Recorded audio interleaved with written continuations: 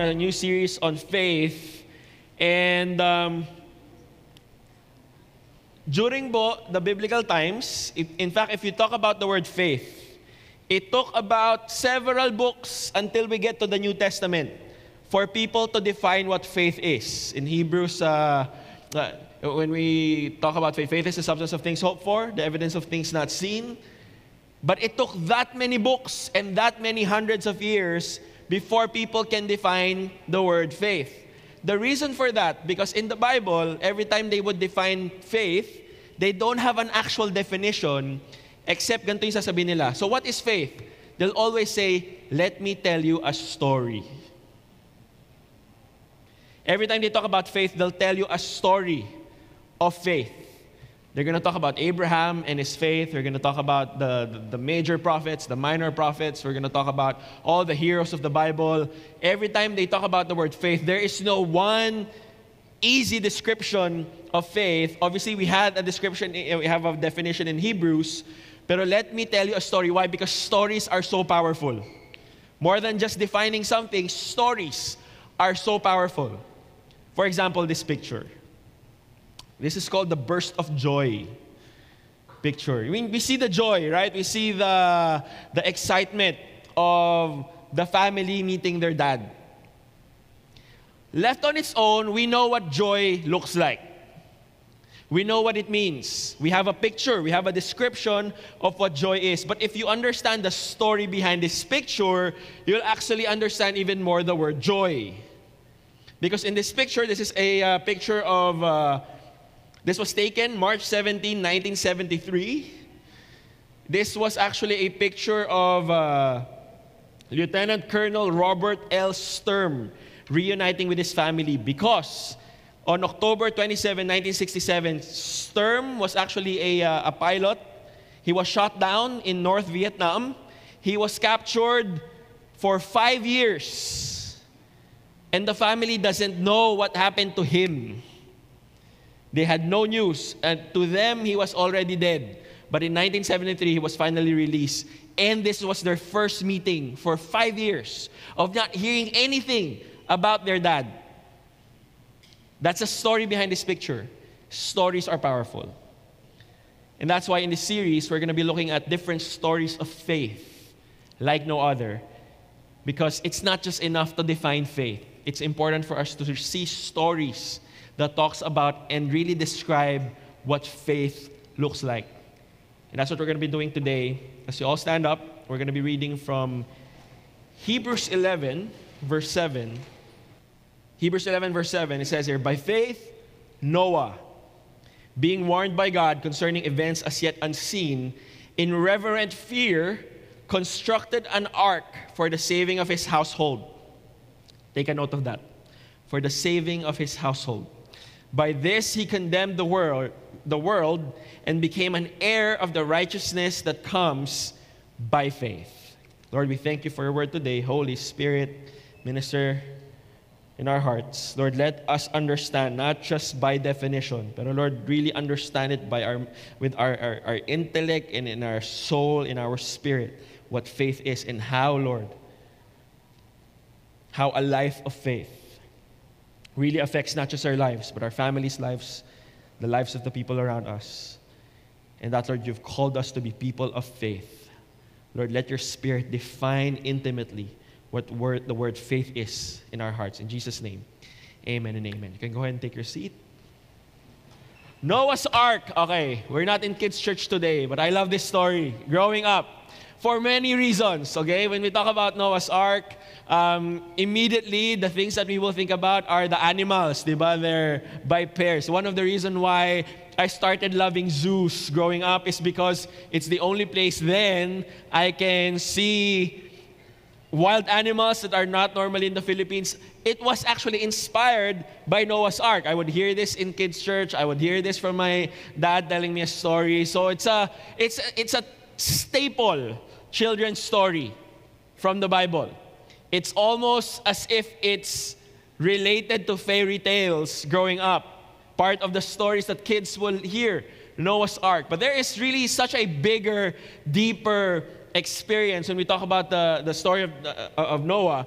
And in the verse that we read, it was being hinighlight po ng ating Panginoon. Hebrews 11 actually is what we call the Hall of Faith. These are names, these are different characters in the Bible that were highlighted because of their faith.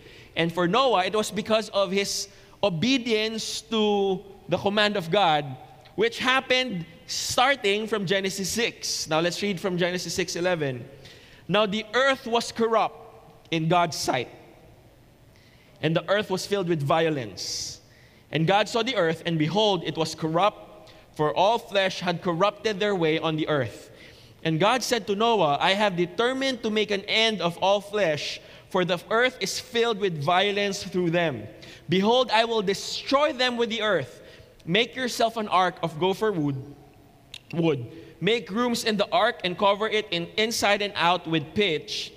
This is how you are to make it. The length of the ark is 300 cubits, its breadth 50 cubits, and its height 30 cubits. Make a roof for the ark and finish it to a cubit above, and set the door of the ark in its side. Make it with lower, second, and third decks. For behold, I will bring a flood of waters upon the earth to destroy all flesh, in which is the breath of life under heaven. Everything that is on the earth shall die. But I will establish my covenant with you, and you shall come into the ark, your, you, your sons, your wife, and your sons' wives with you. And of every living, living thing of all flesh, you shall bring two of every sort into the ark to keep them alive with you. They shall be male and female.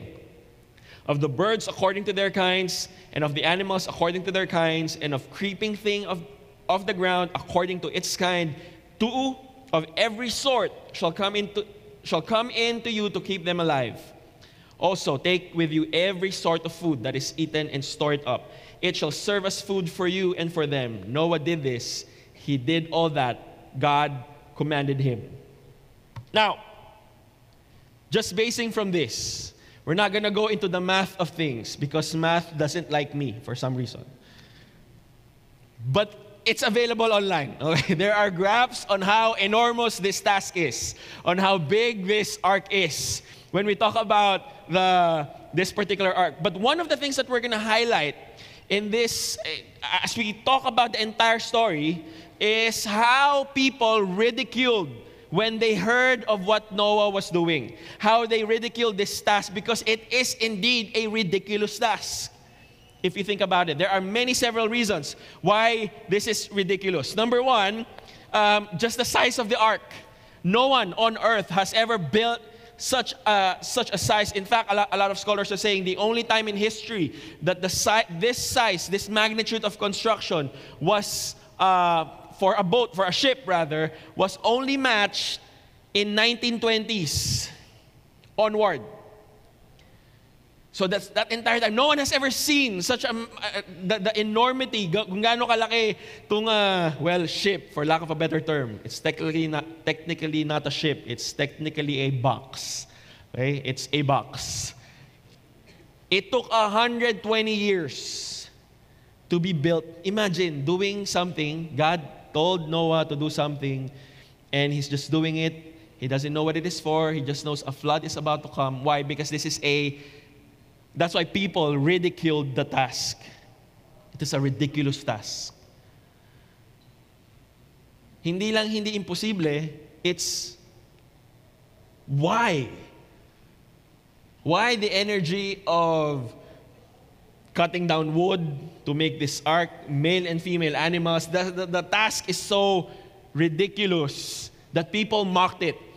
Another that was not explained growing up uh, in the story. Apparently, during this time, when God told Noah what's going to happen, the earth will be flooded, no one has any idea of what a flood is. In fact, no one knew about rain. The word rain did not exist. Hindi po hindi umuulan ang mundo. In fact, in from the day of the creation, the only way everything on earth was watered was because of a mist that comes out of a ground. It's actually in Genesis 2, verses 5 to 6. With no bush of the field was yet in the land, and no small plant of the field had yet sprung up, for the Lord God had not caused it to rain on the land, and there was no man to work the ground. And a mist was going up from the land and was watering the whole face of the ground or of the whole earth. Noah, ano yung ginagawa mo? Ano yung ginagawa? Kasi uulan at magbabaha sa buong mundo. Ano yung ulan? Baha. I mean, as Filipinos, we know that. It's not ridiculous here. Pag sinabi ni Noah sa atin yun, good, good on you. Can I ride? but during their time, in fact, they actually are on a higher altitude. They, know, they don't know what, uh, what a rain is. Even the concept of what a flood is, they have no idea. And so this entire thing was just, it doesn't make sense. It seems impossible and it seemed to not make sense at all. In fact, so let me tell this to, maybe this message is not for everyone. Maybe today's message is for a specific group of people where God is telling you to do something that seems to not make sense at all. I don't know what that is for you. Maybe for some, it's God telling you, um, I'm actually calling you into ministry. I know you're earning this amount of in your corporate job, but there is a word that God has placed in you to go into ministry. And you're like, why? Madami ng pastor, madami ng campus missionary. Bakit ministry? Or maybe it's the other way around. You're enjoying ministry and you've been doing ministry for years, and God is telling you, No, I'm calling you into corporate because I have, uh, an, um, God, I'm about to do something in, your, in the workplace that I'm sending you, and I am sending someone like you. You're about to leave this life that you thought you're going to have for the rest of your life. Why, God? And I say this because there are arks that God has placed in your heart to do and it doesn't make sense. It just doesn't. Lord, marami akong utang. Tapos you're telling me to bless this person. Lord, paano? Wala nga ako eh. Side note. Part of that command is God telling you to pay the debt. Lord, wala po akong pambayad. Wala kang pambayad pero may pang Starbucks ka. Huwag ka muna mag-Starbucks, kunin mo muna yung amount na yan. Ibayad mo mo yan kahit konti lang na yan. Yan muna. You don't have to pay for the whole amount. Why? Because the moment you follow, I'm about to do something. Lord, forgive this person who did this to my family. First of all, hindi po manggagaling sa akin yon. Hindi ko alam ang situation nyo. Hindi ko alam ang pinagdaanan nyo. But when God tells you to forgive, He's gonna give you the grace and say, Forgive daw, Lord. Sige. What's your ark? What is that something that God is putting in your heart right now and it doesn't seem to make sense? You don't have the logistics for it? Is it a business that God has placed in your heart for a long time and you just keep putting it off? God is telling you to write something. And Lord, sinong, sinong magbabasa nito? Pero there are messages in your heart that doesn't, that needs to come out. And God has been telling you, write. And maybe you're just putting it off because it just doesn't make sense. You just don't have the time. God has been telling you to reunite with certain people. And Lord, paano? Ang tagal na namin hindi nagme-message. Huling message ko sa FB 2011 pa. For sure, pag nag-message ako, iisipin nila nasa networking ako, Lord. I mean, it's not bad. Lord, paano? It doesn't make sense. What is your arc? So let me tell you this. When God tells you to do something that doesn't seem to make sense, you're in the perfect place to experience the will of God because He is about to do something big through you. Kaya nga it doesn't make sense eh, kasi our brains can comprehend the level of power that God is gonna let you experience. And that's why it doesn't make sense now. And maybe people are gonna ridicule it. Noah's task was in the level of ridicule. People are just, they're seeing a ship on top of a hill with no concept of flood, with no concept of rain, and this person has been building this for 10 years, 20 years, 50 years na, wala pa rin nangyayari, 60 years, it's been 100 years. And now, wala pa rin. Ano yung ginagawa mo? It's been a century already, Noah. And maybe some of the tasks, some of the things that God is putting in your heart, you've been doing it, you've been following it, it still doesn't make sense. Lord, sabi mo, gawin ko to, mag-ipon ako, gawin ko, Lord, I'm, I'm believing for something, but it feels like there is no answer. Lord, sabi mo, i-reunite ko tong yung nanay ko na hindi ko kinakausap for years because of what she did. And I've been trying to say hello, to, uh, to send a message, pero lagi akong ginoghost, lagi ako nire-reject. Pero God, ang strong pa rin ng word mo na ituloy ko lang yung ginagawa ko. Lord, it's been five years nothing's happening. It doesn't make sense. But when God tells you, just keep doing it, you'll know it if it's from God. We'll get to that later. It's through a word, through other people speaking the word to you, a prophetic word maybe, God's still small voice, but it doesn't change the fact. God is about to do something big if it doesn't make sense. Kasi kung lahat ng bagay logical, hindi ko kailangan ng word ni God. Amen? Hindi ko kailangan si God. Kung yung kailangan kong gawin, uh, meron akong pera para dyan, meron akong kaya ng logistics ko yan, kaya ng energy ko yan, kaya ng time ko yan, kaya, kaya ng lahat ng pagkatao ko yan, hindi ko kailangan si God. That's why we're so... Kaya nga minsan ang yabang ng mundo eh.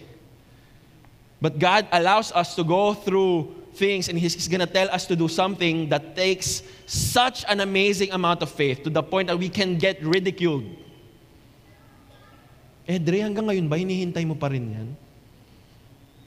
Five years na, six years na, nakahawa ka pa rin dyan. Sabi ni Lord, hindi ko pwede bitawan. How do I know, though? Genesis 6, Genesis 6, 1 to 8. When man began to multiply on the face of the land and daughters were born to them, the sons of God saw that the daughters of man, man were attractive, and they took as their wives any of they chose. Then the Lord said, My spirit shall not abide in man forever, for he is flesh. His days shall be a 120 years. The Nephilim were on the earth in those days and also afterward, where the sons of God came into the daughters of man, and they bore children to them. These were the mighty men who were of old, the men of renown. The Lord saw the wickedness of man was great in the earth, and that every intention of the thoughts of his heart was only evil continually. And the Lord regretted that he made man on the earth, and it grieved him to his heart. So the Lord said, I will blot out man whom I have created from the face of the land, man and animals and creeping things and birds of the heavens, for I am sorry that I have made them. But Noah found favor in the eyes of the Lord. Let me explain some of the things in this verse first. God is is God apologetic? Um, again, when you see texts like that, that it, it's as if God forgot or God is saying sorry we are reading from a man's point of view. Okay? It was written so that man can understand. God is both infinite and he is relational. He is infinite, he is not apologetic. He, he, is, he has no regret.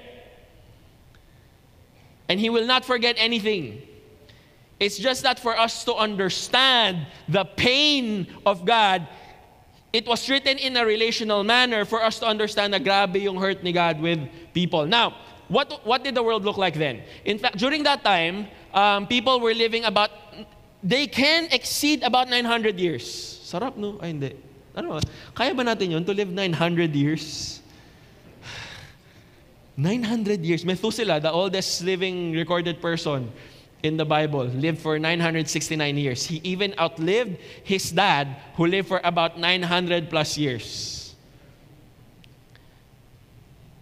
They were people that we call the Nephilim. Now, the Nephilim is often translated to giants, fallen ones, the, the fruit of the sons of God and uh, human beings. Um, scholars actually debate on what Nephilims are. Some believe that they were literal giants or union nga ng angelic beings referred to as sons of God and human women. Other interpret the Nephilim as simply mga warriors or tyrants of the ancient times, and all of them could live about 900 plus years, including men. Now, there is a reason why, and it's up for discussion, obviously, why it was the description of the Nephilim is also included with the corruption of man. Maybe it has it's it's the cause or the effect. It's all in one text, it's all in one description, and this is the world that we live in. Now, a lot of math scholars, math scientists are saying because of the condition of the earth and how long people could live, there were about a billion people during the time of Noah. Nga people are not dying easily, so it, the population just keeps adding up and adding up and adding up. Maybe not as fast as we are today, but we live in a world where people die at a certain age. They can live for like below a thousand years. A billion people with tyrants and warriors and all these amazing uh, uh, cre- humanoids. I don't know what we call them, Nephilims. And yet God would choose a guy named Noah. Not only is his task ridiculed, he is a ridiculed person. Number one, he is not a shipbuilder. No one, in, no one in, on record says that he knows how to build ships. And yet, God would choose a person like Noah out of a billion people on earth during that time. He would choose this guy who is not a shipbuilder, he's not even a prophet. He had one qualification. One qualification. Genesis 6 9. These are the generations of Noah. Noah was a righteous man, blameless in his generation. Noah walked with God. When you say, okay, the, the qualification is righteous, it's not. The righteousness is a fruit of Noah walked with God. That God would choose someone walking with him. Noah walked with God. In a world of Nephilims, unholy unions, corruption, one man chose to say, I'm not going to look at the culture and do everything what everyone is doing. Instead, I'm going to be walking with God. Now, there's a cultural significance of walking. During that time, the way for them to travel to one place to another is by walking. So when people are walking, obviously you guys are in the same pace, right? Um, my uh, nasisepang sa ko ng konti kasi my daughter is now at that age where she doesn't want to be carried as much. I'm kind of thankful kasi pabigat siya ng pabigat. Pero when she, Daddy, I want to walk, so we're going to walk. And obviously when we walk, I have bigger strides. Because she has short legs. She's, she's, a big, she's a toddler. So when we walk together, I have to slow my pace down. Kasi walking together means you're in the same pace. You're almost on the same steps when you're walking together. So when we say walking together, that, uh, that Noah walked with God, there are many things that includes with this. It includes relationship. The reason why people would walk together during that time is also for safety, because there's safety in numbers. There is security when people walk together. And not only is it a, the reason why it's a relationship is because when the two of you are walking together, paano ba nag-uusap yung taong magkasabay mag, mag, uh, maglakad? Nagtitext, hindi. We, nagsisigawan ba? Hindi rin. Because if we shout at each other, we're not walking with each other. Malayo siya, nauna siya, or nahuli. But walking together, there is a volume of you, in the way you speak. In fact, sometimes it's very in, it's in a whispered tone because you don't need to make it loud. There is such closeness and intimacy, and when the Bible says Noah walked with God, he was in the same step, same pace. And this is why he knew the voice of the Lord. He walks with God. That's why alam niya yung boses. Nung narinig niya yung ridiculous task, a task he knows, he will be laughed at, a task that doesn't seem to make sense. The reason why his heart was ready to, to go, Sige, Lord. Because he was walking with God. He was in same steps, same pace with the Lord. This is a voice he knows. Sino dito naging anak? I mean, that's all of us, obviously. That's rhetoric. Alam niyo yung boss na nanay niyo, di ba? Ng mga moms natin. At alam natin yung pitch. Iba-ibang pitch yan. Morning, ibang pitch ng nanay. Mga moms, come on, you understand? You've been kids also once. There is a pitch. In the afternoon, mas relax. My mom is kind of my, because I am, mahirap ako gisingin. I, I apologize to my mom as early as now. Mahirap ako gisingin. Yung like, tulog, ano sa, what's the term? Tulog mantiga, yung ganong, stay up late pa ako nung bata ako. So my mom, her level of patience changes. Gisingin niya ako ng okay lang. Anak, gising na. Kapag papasok ka pa sa school. After 10 minutes, di pa rin ako gumagalaw. Tataas ang konti. Di ba? Hanggang galit na si mami. I can't blame her because that's my fault. But the reason why I know her voice is because I hear it every day. In fact, at home, when you're in your room, wag ng voice. Wag, kahit, kahit hindi na yung boses. If you're in your room, you know who's outside your room just by hearing their steps. Right? Medyo mabigat si daddy yan. Parang nagdadabuga si kuya yun. diba? Parang alam niyo yun. Why? Because you would hear it every day. Do you study it? No. Is there a level of science that we have to understand? Ganto yung uh, si daddy ang tempo niya ng boses, ganto na sa second octave. Tapos, we don't know that. What we know is who owns it, who knows who owns the voice, who owns the steps. The reason for that is because we hear it every single time, we hear it every day. So when we hear the word of God, the only way we can really be assured it's him is if we're walking with God every day. There's a reason why we need to read the word. It's not because it's a requirement. Hindi, hindi, ibig, hindi dahil sinabi ng Victory Group leader nyo, I need you to report to me five verses, kailangan memorize to the dot, ESV, NLT, pati amplified na rin. Kailangan memorize mo. Every week mag, magre-report tayo. Hindi po ganun. I, I, in fact, if your leader is like that, do talk to me. I-require ko din siya. But we read the word not for the people around us. We read the word because we want to hear the steps and the walk of God. So that the moment He speaks to us audibly, He speaks in our heart, we receive a prophetic word, we know, Lord, that is from you. Because people can give you prophetic words randomly. And the only way to assure, Lord, galing ba sa yon, if it's according to the word. Noah walked with God. Isaiah 30, 20 to 21. And though the Lord give you the bread of adversity and the water of affliction, yet your teacher will not hide himself anymore, but your eyes shall see your teacher, and your ears shall hear a word behind you saying, This is the way, walk in it, when you turn to the right or when you turn to the left. This is a, a prophetic word to, to, to, the, to Israel that they would again hear from God and they would know that it is God. John 27, uh, John 10, 27. My sheep hear my voice, and I know them, and they follow me. Mahirap pong sumunod. Napakahirap. We know that. Our, our natural tendency is to disobey. My three-year-old is in that stage of being terrific. Speak life. She's terrific. The terrific three. And then the fantastic four.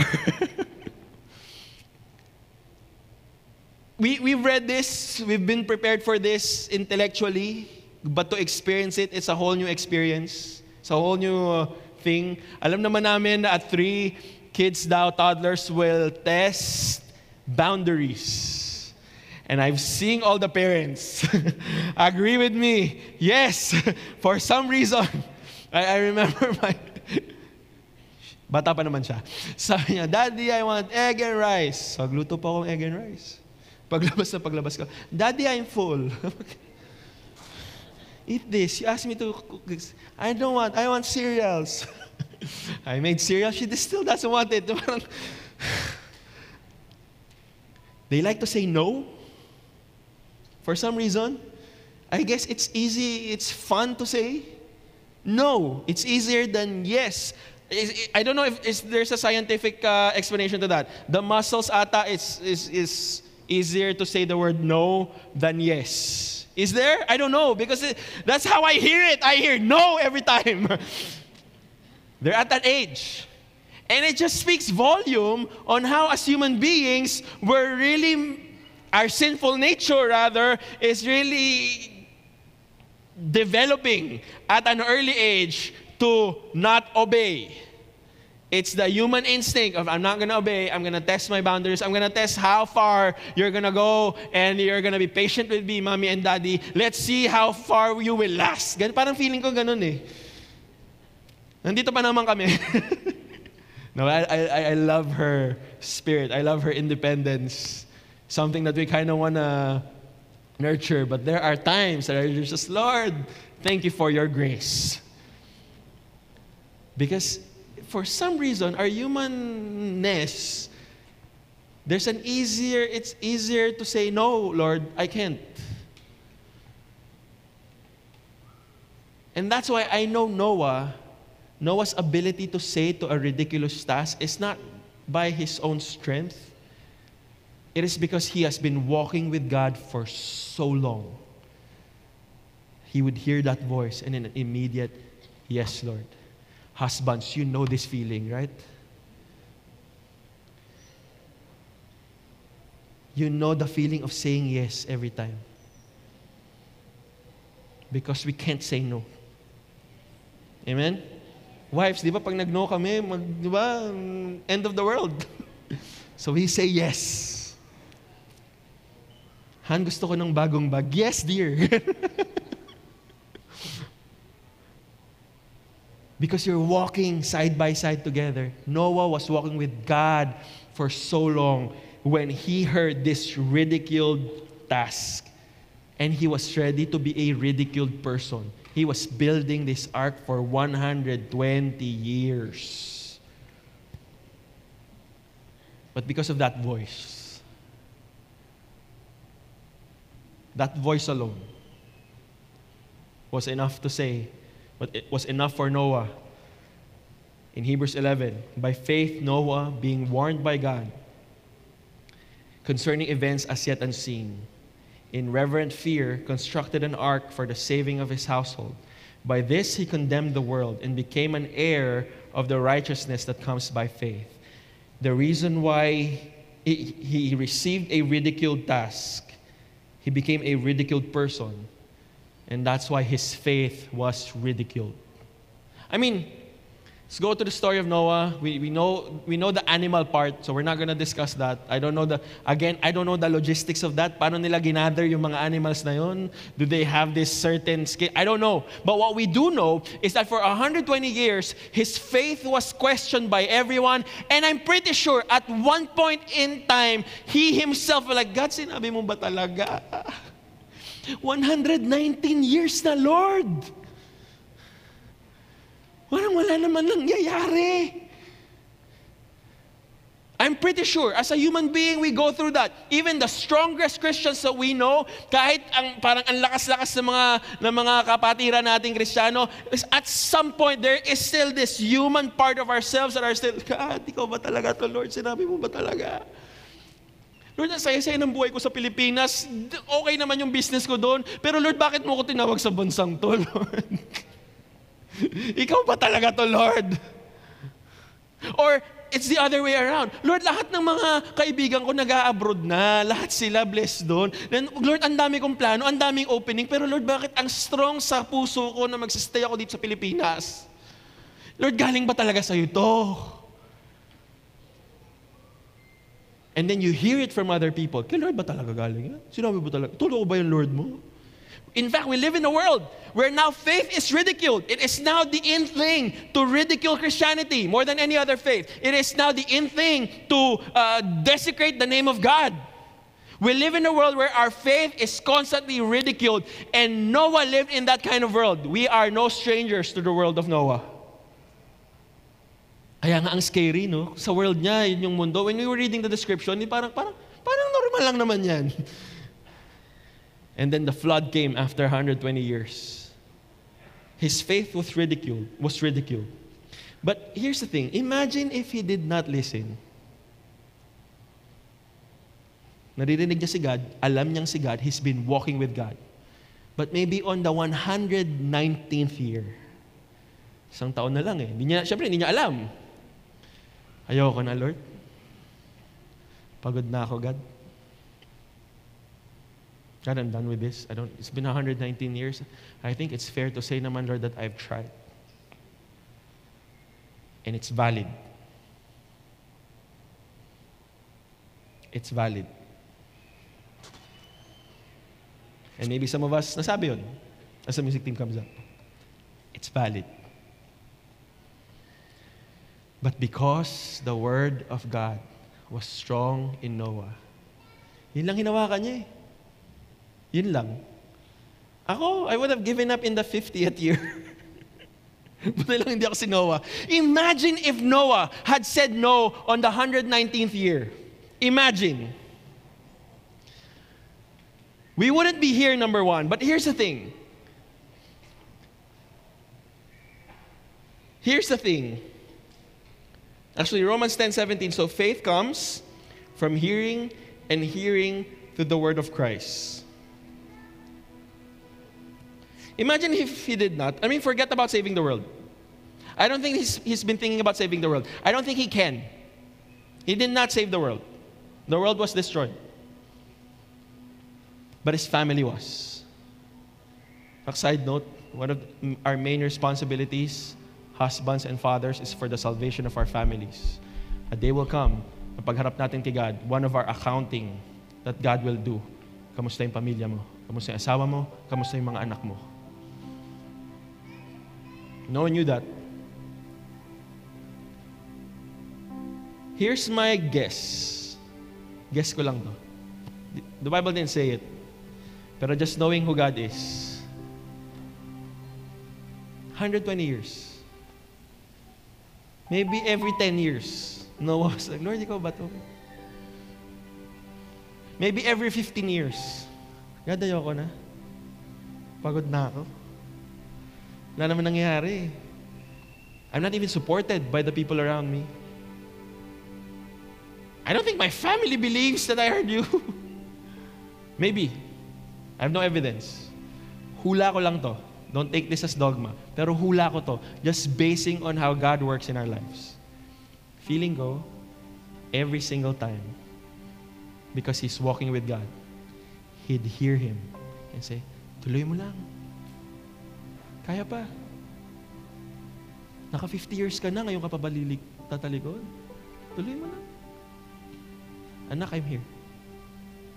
Oh, 70 years na. Sige lang. Kaya pa, isang step lang. Next time, next day na, tulog ka muna, kain ka muna. Oh, 100 years. We'll go with this. I'm with you. You've been doing this. You don't know when this is going to end, but I'm going to be here. You don't know when the rain will, will come. I'm to be here. 119 years. 120 years ship was finished, they all entered. I'm imagining the, the yung tunog ng ulan, pagpasok na pagpasok nila doon sa and all of a sudden there's storm and they were inside the ship and I believe the only thing Noah could do is like thank you God. We're here. Obviously that's an understatement. Here's what though. 120 years of Noah just doing that. The reason why he had he, his faith was able to survive the ridicule from other people and from himself is because yes, he knows he's been walking with God. Here's the thing. Sino bang nauna? Sino bang lumapit? Because every time we talk about faith, it talks about the things that we're believing for. And if you receive something, wow, our, your faith is amazing. And sometimes we associate faith with our skills. Ang taas kasi ng ano ko eh, ng heart ko to accept and receive at sobrang powerful ng faith ko kaya to nangyari. And sometimes we associate faith with our own skill and in our, the way we, ay, ginamit ko kasi nababasang word eh, kaya gabi yung taas ng faith ko. Grabe, alam nyo, if there's a topic on faith, you have to listen to all my stories kasi I am a man of faith. Di ba if you listen to a person like that, parang, ikaw na, congratulations. That's not me. Kasi hindi ko kaya eh. Tingin niyo, sino lumapit? Noah was walking with God. Sinong lumapit? It took 120 years for him to finish the boat, for the ship to be built. We have a cross that happened 2,000 years ago. Hebrews 12, 1 to 2. Therefore, since we are surrounded by so great a cloud of witnesses, Noah included as a witness, let us also lay aside every weight and sin which clings so closely, and let us run with endurance the race that is set before us, looking to Jesus, the founder and perfecter of our faith who, for says here, the founder and the perfecter. He started the faith, he is perfecting it, who for the joy was set before him endured the cross, despising the shame, seated at the right hand of the throne of God. Noah had the evidence after 120 years. We have the evidence 2,000 years ago. Those are two different stories. Wala si Noah noon.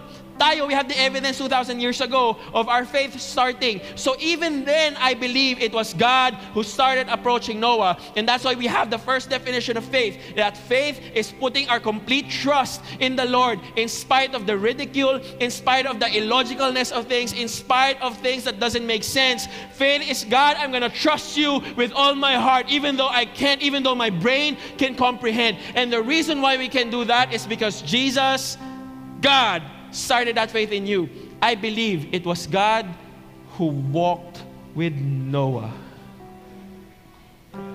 Amen. Noah's choice came after. It was God who stepped. All of a sudden, Noah was walking alone. And all of a sudden, here comes another step right next to him, calling him, walking with him. His faith Wow, 120 years. The reason why he was able to hold on to was because God walked with him. So when someone asks, What is faith? Let me tell you a story. Maybe for some of you, that's your story. You're here because of something that did not make sense happen in your life. Maybe you're here because you've been jumping from one relationship after another and it doesn't make sense why people just doesn't love you. It feels like people are leaving you. It feels like people are running away from you. And all of a sudden here comes someone running after you instead running away from you. And this someone met you at that dark road and met you and introduced himself and said, "I am here, my child. I am God." Let me tell you a story. Maybe your story is you're in a place of wealth and provision, and it feels like it doesn't make sense. Why they promised me that when I have my achievements, I have my medals, I have everything that I asked for, my heart will be filled with joy and happiness. Then why is it that I'm in my room crying because my life is so empty? I have everything in my life, and it feels like I have nothing. And all of a sudden, here comes God introducing Himself to you, has been running after you. After you've been running uh, towards wealth, God has been running after you, and all of a sudden, He met with you on the road and introduced Himself. Maybe it did not make sense then. Let me tell you a story. You want to know more about faith? Let me tell you a story of someone who's just not worth anything. I'm not the best person at school, not the best child because all my siblings are always the highlight of the family. I'm not the best student. I'm not the best person at work. I'm just not the best. I have never been the choice. People have always rejected me. People have always left. No one would choose me. And I would not even choose myself because if you know my past, if you know what I've done, you will not choose me because even now I cannot choose myself over other people. But God came. And it doesn't make sense. Let me tell you a story. We're talking about faith. You want to hear about a story of faith?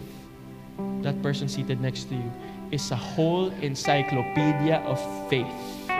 It's a whole encyclopedia of God's grace and mercy and forgiveness. That person seated next to you is an entire story of redemption and forgiveness, all because that person you're with right now met Jesus on the cross and started walking with God because God walked with you first.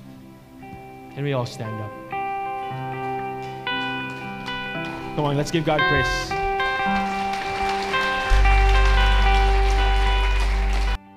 Because I believe your stories, like the story of Noah, will not just be a blessing to other people, but I believe it will be a cause of change for other people as well. Especially when we talk about faith. We're going to be talking about faith over the next few weeks, and we are excited for your stories of faith. Faith like no other. Let's pray. Lord, we thank you, God, for everyone here that you've called to be here. Thank you, Lord, for your grace and your love for each and every one of us. If you're here and you have an arc, something that God is telling you to do that does, doesn't seem to make sense, wala kayong logistics to do it, but it feels like, pero ang strong ng pagkakasalita sa inyo ng Panginoon. If that is so, can you raise up your hand? We want to believe with you, want to stand with you in this journey of faith. Thank you, Lord. I'm raising up my hand also. Thank you, Lord. Lord, you see the hands of these, uh, of your children, God. Lord, may arko din ginagawa na pinagawa mo at namin alam kailan matatapos, anong mangyayari, uh, what's the outcome, God. But we know that you just told us to do something.